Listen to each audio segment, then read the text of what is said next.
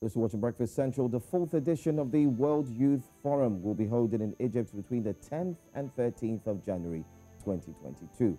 Over 5,000 youths from across the world will be participating to send a message of peace, prosperity, harmony, and progress to the entire world. Now, News Central will bring you live and exclusive coverage from the formal opening and other sessions of the event.